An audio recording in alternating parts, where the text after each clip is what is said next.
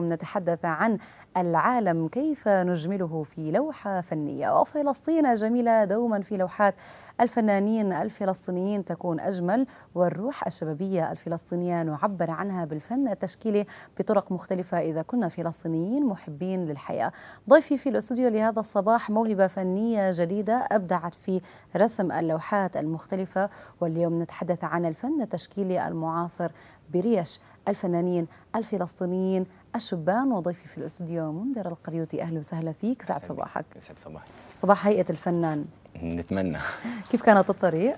إيه مش بطالة كويسة شوب اليوم بس أعتقد يعني آه. إلى حد ما لازم مع شوب. الشعرات ما بتشوب أكثر لما لا بتكون الشعرات هذول في لهم أسلوب في الحياة يعني إلهم اللي أسلوب. هم بيشتغلوا مكيف معك في الطريق أها وقد إيه كمان بتشعر إنه ال look له علاقة في ال- الإبداع أو قد إيه له علاقة في الصورة اللي إحنا ممكن نرسمها عن نفسنا بشكل شخصي أنا مش كثير يعني بطلع إنه ممكن اللوك يعني يعكس الفكرة الفنية للإنسان. قد ما هو بكون مهم إنه تكوني أنت حد متابع للحدث اليومي أكثر.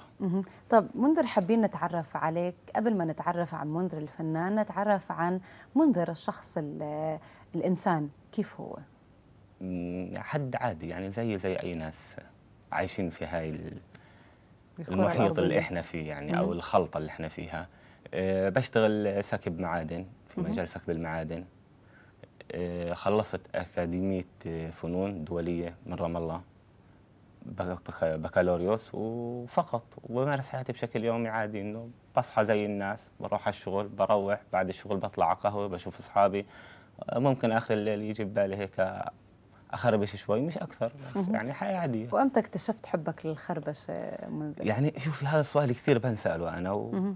مهم. وبرجع بقوله بعرفش لأن خلقت لقيت حالي بحب أخربش فبدريش وانت يعني يمكن بكون تخربش في بطن أمي شو مدريني كيف؟ هون بنحكي عن الموهبة ال- الأصلية والحقيقية يعني لما يجي حدا يسأل فنان أنت أي ساعة اكتشفت نفسك إنك فنان أعتقد هون بيكون ال- ما فيش السؤال ما إلوش بخير. إجابة آه يعني. إنه هو الإنسان موهبة بتنخلق مع صاحبها بعد هيك بصير إنه الشخص لازم يصقلها من خلال دراسة أكاديمية معينة أو من خلال قراءات آه، يغني الفكر عنده. بالضبط. فهيك خلينا نقول إمتى منذر آه، قرر إنه هو ينمي هاي الموهبة اللي موجودة عنده يبدأ في عملية صقلها؟ أو السؤال يمكن اللي يسبق هل أنت قمت في صقل موهبتك بناحية أكاديمية أو نظرية؟ أو أنت لا تزال حتى اليوم آه، تتعامل مع الفن بفطرتك وموهبتك الداخلية؟ آه لا فعليا بعد ما خلصت اللي هي مرحلة الدراسة. خلص التوجيه وكل التفاصيل هاي بلشت أحاول أتوجه على المعاهد الفنية حتى أدخل في الفن أكثر من ناحية أكاديمية اللي هو لأنه التعليم الأكاديمي أساسي في مجال الموهبة، إذا بدك تصقل موهبتك لازم تاخذي شيء أكاديمي اللي هي الأسس والشيء اللي بدك تبني عليها الفكرة تبعتك.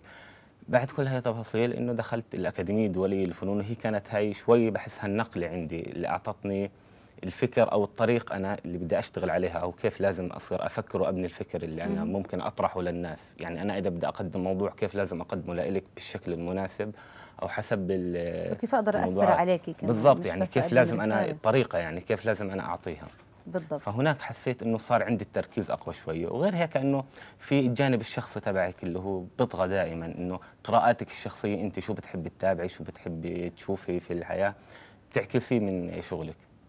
وهون كمان بنقول إنه الفلسطيني ما بيقدر يطلع من جلده يعني. حتى أول صورة شفناها لإلك كان فيها العلم الفلسطيني وهلأ عم نشوف آه، كمان صور عم تعرض على الشاشة من آه، من أعمالك فلما بنحكي عن اللوحات الفلسطينية عن اللوحات الفنية لأي مدى أنت اليوم بتشعر إنك آه، عم بتشارك في صنع الصورة وفي صناعة الرأي العام من خلال فنك.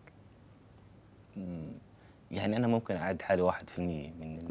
من في كثير على. فكرة لا مش قصة تواضع في كثير عندنا فنانين شباب بفلسطين تحديدا بيشتغلوا فن وبقدموا فن بس الفكرة إنه هل أنت عندك الجرأه تنزل تجرب في الشارع مهم. فاهمة كيف؟ أنا كثير من الأعمال اللي كنت أشتغلها كانت تكون آه، إما جداريات أو جرافيتي أنزل أقدمها للناس مباشرة نادر جدا ما كنت أشتغل زي هيك يعني إنه في frame و canvas. لأنه بحس الفن لازم يكون للناس موجود بالشارع مش لازم أنا أشتغله وأخبيه عندي في الاستوديو أو في المرسم تبعي. صح. لأنه أنا عملت لوحة حطيتها في المرسم تبعي وبعدين. صح. تضل إلي أنا شفتها لحالي.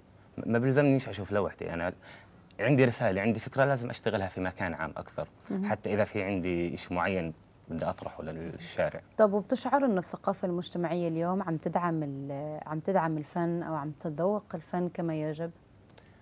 الثقافة المجتمعية تتقبل الفن تختلف من منطقة لمنطقة حسب تفاصيل حياتنا الفلسطينية. يعني إنه بتختلف من رام الله مثلا لنابلس لجنين حسب طبيعة الناس. وبت... خلينا نحكي الثقافة بتتقبل عندنا الناس بشكل عام. أما السلطة بشكل عام أنا ما بدي أحكي على السلطة آه، في لها أسس معينة. يعني ما بقدر أنا أطلع على موضوعات خارج عن النطاق أو السياق العام. يعني إذا بسألك الفنان شو بينقصه اليوم لحتى يمارس فنه داخل فلسطين بالطريقة اللي هو بحبها اللي هي هامش الحرية. هي هامش الحرية فاقدة عند جميعنا. يعني مش بس بفلسطين في كل أرجاء الوطن العربي هامش الحرية عندنا فيه شوية نقص. يمكن بفلسطين عندنا شوية مجال أكبر من البقية إحنا مم. بس برضه في عندنا نقص في هامش الحريات مم. لهيك لما يعني بنطلع على المشهد الفني أو المشهد الثقافي إلى حد ما في بعض الأحيان بنشعر بأنه هو منقوص أو بأنه هو مش عم بيأدي دوره فيمكن تشعر إنه السبب هو غياب الحرية آه، أكيد مم. يعني لا شك في هذا إنه في عندنا نقص في موضوع الحريات بسبب إنه في عندنا موضوعات زي ما بسموها عندنا مفصلية ممنوع نطرحها. أو ممنوع تقدميها للعامة. إذا بدك تطرحيها لازم تقدميها وما تحكيش إنه أنا اللي عملتها. أنا حدا من الناس آه، كنت أجرب أعمل هيك إنه في موضوعات طرحتها بس ما كنتش إنه أحكي أنا اللي اشتغلتها. خلاص عندي فكرة بدي أوصلها تمام؟ بروح بنفذها وبمشي. مش ضروري حد يعرف إنه أنا اللي عملتها. المهم عندي حاولت أوصل رسالة. طب ولما بنطلع على الفنانين اللي موجودين في الوسط اليوم هل بتشعر إن هم عندهم نفس الانتماء اللي موجود عندك للفن؟ مش انتماء لأن أنا للشهره أو للماديه أو لشيء آه، ثاني نسبة نسبة خلينا نحكي 40% عندهم الفكرة هاي أما الباقي هم بديش أتهم يعني باقي الناس سلبيين شوي كيف يعني؟ إنه خلاص أنا فنان يعني وإلي إلي ستايلي وإلي حياتي. بدك تحكي معي لازم تحكي معي في المستوى تبعي إنه أنا في عندي ثقافة معينة ما دون ذلك. لا إنه حل عنا يا برضه يعني خذ بعض يعني كلياتنا عايشين في نفس الحارة كلنا أولاد تسعة. بضبط إيش. يمكن هو هذا السبب اللي عم يعمل فجوة بين المجتمع وبين الفن. لهيك أنا سألتك لاي مدى الثقافة المجتمعية اليوم عم تدعم لأنه فعليا زي ما أنت حكيت الفن من غير جمهور أو الفنان من غير جمهور هو ما وصل رسالته وما حقق الرضا لنفسه. فبتعتقد إنه هذا السبب اللي هي بعض آه نوعا ما آه ممكن. مم. هي كلها شوفي مجموعة مسببات. يعني هي هذا سبب من الأسباب. في كثير يعني مم. أشياء بتصير تلعب في المفهوم العام عندنا.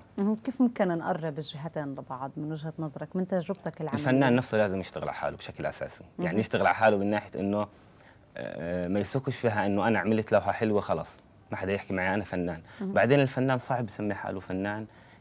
إلا إذا الناس أعطته هذا اللقب. آه بالضبط.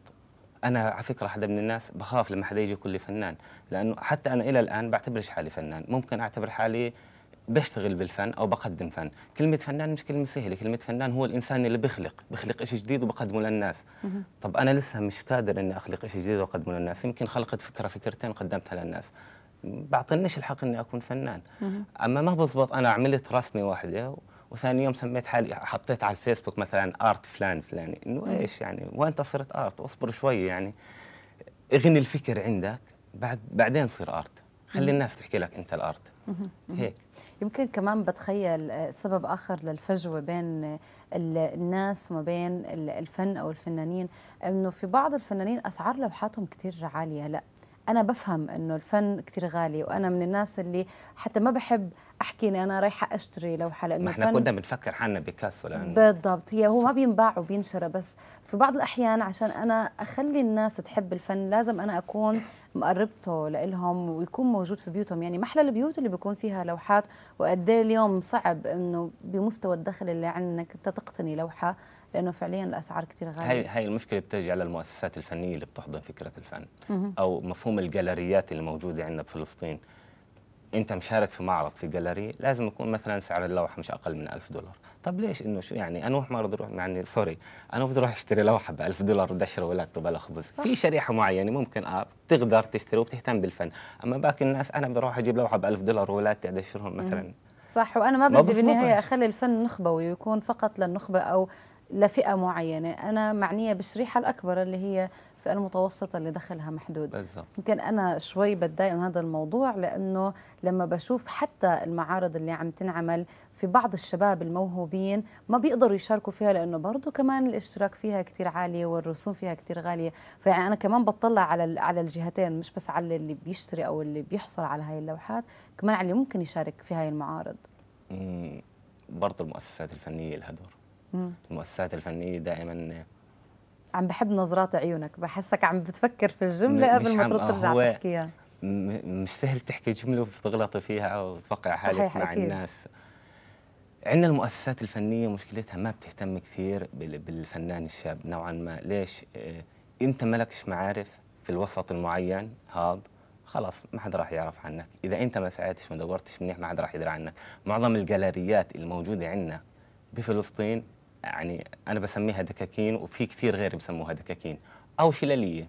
تمام يعني إلي شلة في الجاليري هذا إحنا بس اللي بنعرض فيه والشلة الثانية تبعتنا اللي إحنا مصاحبينهم هم بس اللي بيقدروا يعرضوا فيه غير هيك ما بيلزموناش يعرضوا فيه فاهمني. كيف يعني لازم تكوني من شلة معينة أحزاب الفن أحزاب عادي زيه. زي الأحزاب الفلسطينية شلال إحنا هيك شعب بنحب نكون دوما. كلنا شلال كلنا شر آه. الأحزاب.